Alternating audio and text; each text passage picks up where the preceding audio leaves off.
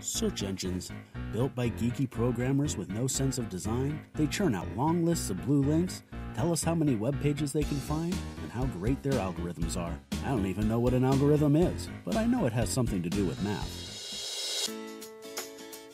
Now imagine a search engine where searching the internet isn't about squinting at long lists of websites.